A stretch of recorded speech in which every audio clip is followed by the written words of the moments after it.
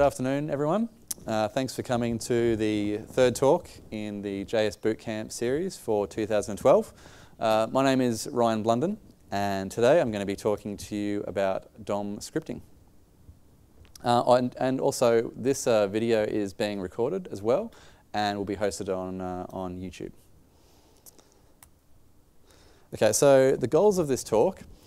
Uh, so by the end, I'd like you to understand what the DOM is, uh, be familiar with APIs for traversing and manipulation, have an awareness of performance considerations, and be able to debug and experiment with the DOM as well. Okay, so how are we going to achieve that? First off, we're going to cover exactly what the DOM is and then what DOM scripting is. Uh, we'll talk about some of the cross-browser issues you run into uh, when you try and use native DOM methods. Uh, we talk about accessing the DOM, uh, traversing the DOM, manipulating it, uh, and then some, uh, some key considerations for performance as well. and then just to finish off, we'll, we'll do a tiny little bit of debugging with the DOM using some, some developer tools in the browser. Okay, uh, so this uh, presentation is just a HTML file, uh, and all of the code samples in here you can actually execute uh, in the context of this page, uh, so you can see what's going on. Uh, also, I use console.assert as more of a test-driven way to make sure that the code that I'm using in console actually does what I expect it to do. And if you ever, if you know, hopefully after this you start experimenting in the browser yourself, I'd encourage you to use uh, console.assert to, to use that test-driven methodology as well. Okay, so first of all, let's just talk about the document object model. Um, so it's essentially an API for HTML and XML documents. Uh, the way I like to think of it is it's like an in-browser database that has terrible write and terrible read performance. So the idea is to interact with it as little as possible. Uh, the Mozilla's uh, developer network is uh, a really great website uh, that has excellent quality content. And there's a useful link there which, which uh, can give you more detail on some of the topics I'll cover today. So DOM scripting. Well, DOM scripting refers to programmatically accessing the DOM, and we usually do this via JavaScript. For JavaScript, the DOM is accessed via the document object, which is attached to the global window object. All right, this is uh, a sample DOM tree. So the root node you can see there is document, and extending from document, we have the head of the document and the body of the document. So the head is where we find meta tags, the title of the page, perhaps some CSS, uh, and then in the body, uh, we can see we've got a H1, a heading 1, a paragraph tag, uh, and the yellow boxes there, um, uh, like for instance, if we look at head, in title. Uh, title has a text node, which is its value, which might be you know, hello world or something like that. And then for a script tag, it might have a source attribute. Now, the interesting thing is that everything in the DOM is a node, regardless of whether it's an attribute, whether it's text in a tag, everything is a node. Okay. Um, can you guys see that okay? That, is that coded yet? All right, so that is exactly the same as that picture I just showed. So we can see we've got a head tag with a title and a script tag. And then in the body tag, we have a H1 followed by a paragraph, which has a class of summary and two list items. Yeah. So uh, in your previous slide, um, it shows that head, title, and script are siblings. Yes. Why are they siblings when the head uh, that's actually, yeah, that shouldn't, that's uh, an issue with the um, picture. So head, title, and uh, script aren't siblings. Sorry, the way it is is that um, head, uh, title, and script are children of head element. So yeah, cool. All right, so DOM nodes and DOM elements. Uh, a DOM node is anything in the DOM tree, as I said before. So it can be an element, an element attribute, uh, it can even be a HTML comment or even white space. Uh, so this can create issues if you're using native DOM uh, methods to, to iterate over elements uh, but I'll get into that a bit later. Okay, so uh, an element, uh, as opposed to a DOM node, is simply an object that represents a type of HTML element.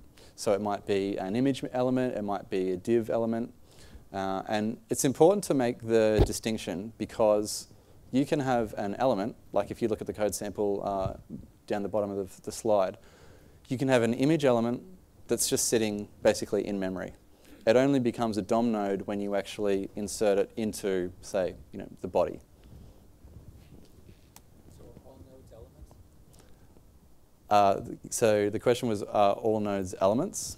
Uh, no. So you can have nodes that might just be a HTML comment or a text or white space or something like that. Uh, yeah, okay. So node information. Um, this, is particular, this pertains to elements, but some things that you'll want to interrogate about an element are its node name. So if you're iterating over something and you're not sure what you're iterating over, uh, you can analyze its node name property, which will return whether it's, say, like an image or a paragraph element. And then the element.node type property is also useful because it'll tell you what type of, uh, of node um, something is. So it could, so for instance, if you're iterating over a series of nodes, you can then find out, is this node that I'm iterating over white space, is it a HTML comment, or is it an element? And so uh, looking at that example there, uh, the element uh, has a node type of one. Okay, so DOM scripting and cross-browser issues. Uh, Pete, who did a presentation last week about DOM events, touched on some of this. Uh, and for DOM scripting, uh, there are also lots of cross-browser issues, unfortunately. Uh, just a couple examples, uh, detecting when the DOM is actually ready uh, and getting and setting attributes. another, another thing to touch on, which is really important for performance, is there are, there are two events that we can listen on which tell us when we can actually interact with the DOM. Uh, one is DOM ready and the other is window on load. So the window.onloader event will fire once absolutely everything has been downloaded. So that's images, that's CSS files, that's JavaScript, that's everything. Now we can wait till then, but a lot of the time what we want to do is we want to start interacting and decorating the DOM, um, adding useful JavaScript features as soon as the DOM has been built. And that's why we listened for the DOM ready um, event instead. Uh, there's no reliable cross-browser way to do this, so that's why we rely on uh, other libraries to fire that event and then we, we listen for that event. Okay, so I talked about abstraction libraries. Uh, the main ones that we use for web development are Sizzle, uh, YUI, jQuery, and Zepto.js. So currently we use Sizzle um, as our DOM selector engine um, because it's faster than the one that YUI provides. Uh, at the moment, we're currently transitioning from YUI to jQuery, and that'll continue to happen throughout the year.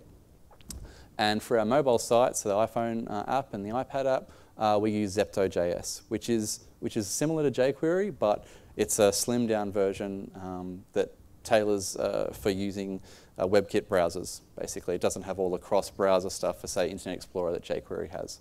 So it's just a lighter weight version. Okay, uh, so I'm not, as a result, I'm not going to go into a lot of detail about the native um, browser methods for interacting with the DOM because we don't, we don't use them. Uh, but if you do want to have a look, and I encourage you just to explore, uh, there's a couple of code samples up there. So console.dir will uh, basically print out the object um, that is the document object, and then you can start interrogating that uh, in the browser to see what some of the properties, uh, see some of the properties that it has. So I'll just show you how you might want to go about that.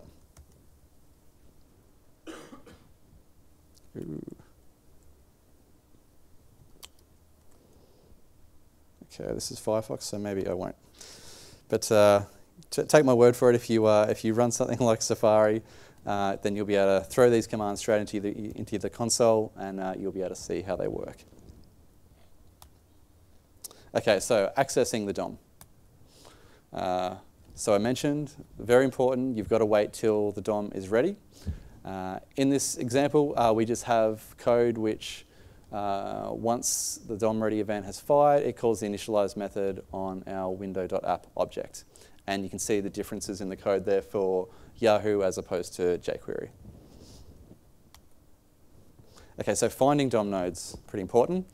Uh, so with Sizzle or jQuery selector engines, you can virtually use um, all CSS 1 to 3 selectors, uh, which is really powerful and it's really flexible. Um, but you've got to be smart about how you do it uh, in order to uh, maximize performance. Um, So I've got a link uh, on this slide which goes into a great amount of detail about how to make sure the selectors you're using are performant. Uh, okay, so at the moment uh, we use Sizzle as I mentioned before, and that's alias to Y dollar.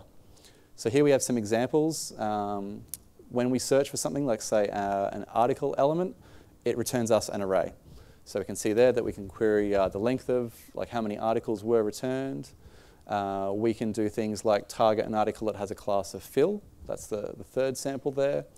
Uh, we can grab the first article in a list of articles. Uh, and we can also, if you want to check to see like if an element exists or not, then just check that the uh, node list that you return back is zero. No elements found. Uh, yes?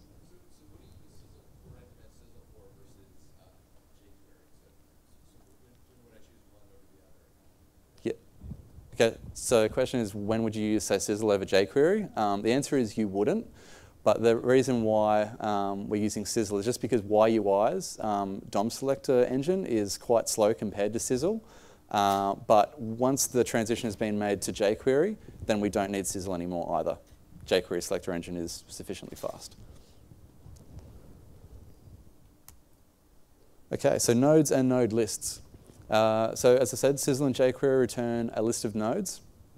Uh, now, YUI and jQuery's DOM API methods, they allow you to basically use their API to apply changes, like say changing the style of something, um, across the entire node list. So in this example, we have a list of articles, and uh, basically what we're going to do is we're going to set the opacity of all of those articles to 0.5. Uh, and then the third uh, piece of code there using jQuery just changes the opacity back to 1. Uh, what you can do if you just want a single node, um, a node list is just an array. And so you say, I want the you know, index at 0 if you want the first, or if you want the second, then the index would be 1 and you simply take that out, and then you're dealing with a native DOM element at that point. Okay, so applying the jQuery and YUI API to individual nodes. Uh, so yeah, sometimes you'll, you'll extract a single node, but you still want that nice API. Uh, so all you do is you just need to, like we did before uh, in the last slide, wrap um, the call uh, around that element. So if we look at the Yahoo example, uh, yahoo.util.dom.add class uh, takes the DOM element as the first argument, and then the class that we want to add as the second argument. And jQuery does something pr pretty similar. You wrap the element that you want to change uh, in a jQuery call, and then you tack on the API um, that you want to use afterwards. Okay, so getting and setting attributes. This is something that we do uh, a lot of and is one of the biggest areas where the browsers don't quite agree. Uh, okay, so in this in these examples, um, we're going to use YUI to interrogate a data attribute. Now, like one thing that's interesting is that the different frameworks differ in in how they try and help you out or, or the attributes that they, they give you back. So for example, um, the attribute of data slide uh, index. Uh, if we try and grab that via uh, Yahoo's um, DOM utility method, it'll give us back a string of one. If we do this via jQuery, jQuery tries to be smart and says, hey, this looks like an integer, I'm going to give you back an integer instead. So if you're using Yahoo or if you, while you are, if you're using jQuery, just make sure like you know exactly what type of, um, of value you're getting back when you, when you call a method to get something. Otherwise, uh, if we want to set something, it's pretty easy. Uh, the examples for Yahoo and jQuery are pretty similar. It's essentially saying, I want to specify, this is the element I want to change, this is the name of the attribute that I want to alter, and then this is the value um, that I want to set it to. Uh, so HTML5 introduced something called data attributes. And it's basically a way for us uh, to store state or values uh, for an element that don't actually affect uh, its presentation at all. Uh, and jQuery in particular handles this really, really well. Uh, so the slide that you can see there with the image, uh, we have several data attributes there. And what we do when we call jQuery, when we get a reference to this element, is we can call a method called data. What data does is it'll collect all of those data attributes for us, put it into a nice little object, and return that to us. So then we can do things like uh, cat data, just dot .id or cat data .category. So jQuery makes it really easy to work with data attributes. Okay, so traversing the DOM. It's basically a family tree. If you've worked with uh, a document object model in another language, like say XML, this should all be pretty familiar to you, uh, with perhaps the exception of a property called inner HTML, which we'll get to a bit later. But essentially, it's, uh, it's an API for climbing up, down, and across a tree. Now, when you traverse, you can either do it like one step at a time. So you might go, you might have an element here, and you might go to its parent, uh, or you might go to its sibling, or if you're using something like YUI or jQuery, then you have more tools at your disposal to, uh, to, to filter you know, by exactly where you want to go, um, up or down or across. Uh, traversing down is always easy because it's just a direct filtering process of where you are right now.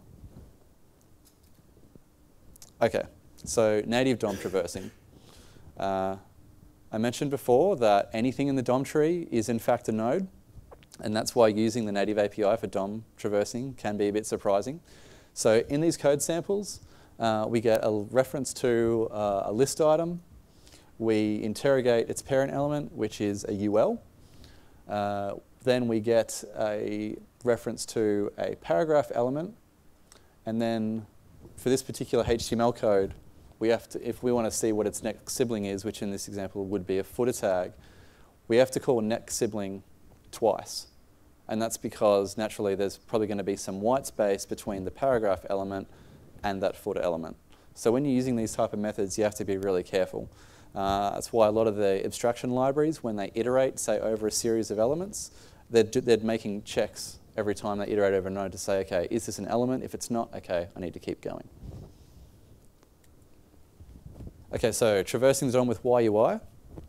So it does provide methods for searching for siblings, ancestors, and children. Uh, but what it does, it tries to keep it along the lines of the native API that the browser already provides. Um, this, is, this is commendable, but unfortunately it doesn't quite make the APIs flexible and uh, easy to use and efficient as, as something like jQuery. Uh, but that, that's just their philosophy.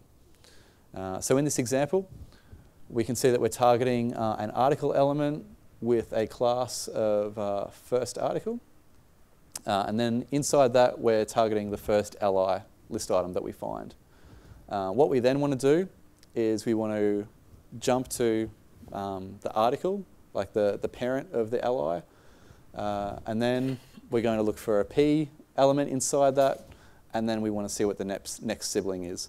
So what I was doing when I, when I was thinking I was doing this is just creating some sort of test uh, some sort of like gymnastics for um, the library to go through to see how complicated it would be to do it. And that's not too bad. Like four lines of code, that's, that's pretty reasonable.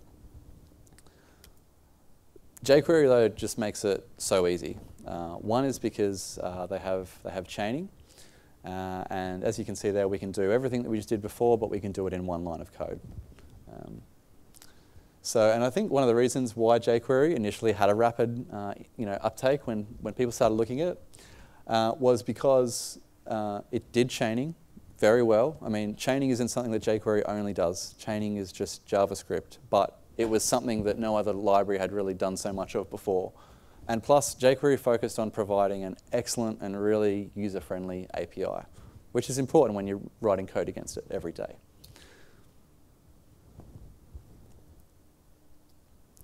Okay, so iterating over a node list. Uh, so iterating over a node list is much like iterating over a standard array.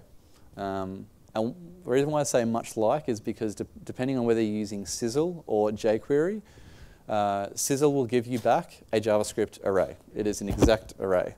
Uh, however, jQuery will give you something that acts like an array but doesn't, that isn't actually a true array.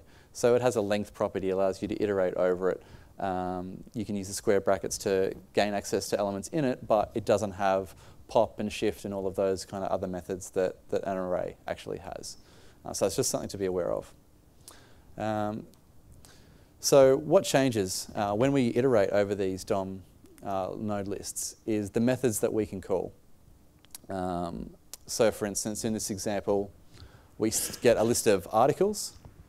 Uh, so because we're using Sizzle in the first example, there's just a statement there which says, okay, is this an instance of an array? And of course we expect it to be true, which it is. Uh, and then we iterate over that, and all we're doing is we're going to add a class to every article in this list, which is article dash and then the index that we're currently at. Uh, jQuery's syntax is, is similar. So um, one like one warning there is that you really shouldn't be like manually iterating over a list of DOM elements unless there's something that unique that you need to do to like every single element. Otherwise, you can just apply something to the node list as a whole. Okay, so manipulating the DOM. Uh, you can build a DOM structure essentially one of two ways. Uh, programmatically, node by node, which when we, you know, when we were doing web development a while ago, that was considered best practice. Or we can take an entire HTML string uh, and we can give that to the browser to parse, sort out, and, uh, and construct the DOM itself. Uh, studies, tests that people have done have actually shown that um, inserting a big chunk of HTML is actually faster. And because the browser manufacturers realized that this is what the web development community at large was doing, they optimized for this use case as well. So while using um, a DOM, you know, DOM node by node methodology is perhaps considered more purist and more correct, um, it's, it's pragmatic in my experience just to use inner HTML. Okay. But the thing is that building the DOM programmatically uh, still can teach us some useful lessons uh, about how we can do things efficiently. So in this example, uh, we define a container, then we create a div, we create a paragraph element, and then we create a text node. So we kind of, we create everything that we need. Then the next step is to kind of put this all together. So we append the text node to our paragraph element, we append the paragraph element to our div, and then we append the div to our container. And then the code below that uh, is just um, having a look at the HTML that's actually created. We see there that um, our text node, dot node value, we can just change that, which is great because we don't, every time we want to say change the value of a piece of text, we don't necessarily need to rebuild the DOM every time. We have a reference to the text node that is inside the paragraph element. We change that text node and the change is reflected upon the page. So that is a really useful concept uh, that, we, that we still use in de- web development all the time. But this syntax is a little bit verbose. Yep. The order that you do the three uh, append childs, does it matter? Like, you created everything before adding it into the actual DOM. Is that necessary? Yeah, so the question was, does the order matter in which I uh, basically append things and uh, get them working? No, it doesn't. So you can, you can append things after the fact, you can insert it into the DOM and then add things, it doesn't matter. Okay, so building the DOM with inner HTML. So we still want to retain some of the concepts that we, we learnt in terms of having references to things and being able to change them so we don't have to rebuild the DOM structure every time, but we want to do it with less code. And that's essentially what inner HTML gives us. Uh, and this, in this code sample, I, I use jQuery as well. Okay, so much like the sample before, we start with a container, except instead of having those steps of having to define the elements and the text nodes, now we can just say the container, here is a big chunk of HTML, go create some DOM nodes out of it. Uh, and then we can see there uh, also um, the jQuery container.find uh, p uh, line of code. This is also great because where before, uh, in the previous example, we created uh, a text node for P. Now that's fine if all we want to do is put text inside of a, the paragraph, but what if we want to then add some HTML elements? Well, we have to go through the process of perhaps defining an unordered list, define a list, attach that list to the UL, and then append that to the P. When we're using inner HTML, it's just really easy just to once again throw in a block of HTML, and as long as it's well formed, uh, the browser will be able to parse that and create the DOM nodes for us uh, very quickly. So you can see there that uh, we, we do save a lot of lines of code. Yes? Uh, in the example, you just had um, uh, the container.inner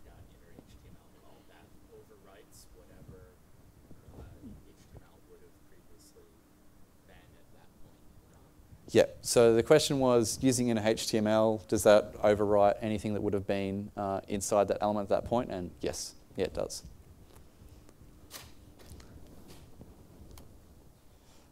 Okay, so I've kind of shown you lots of tidbits, uh, but I wanted to show you, I guess, something that more mirrors um, code that we write every day.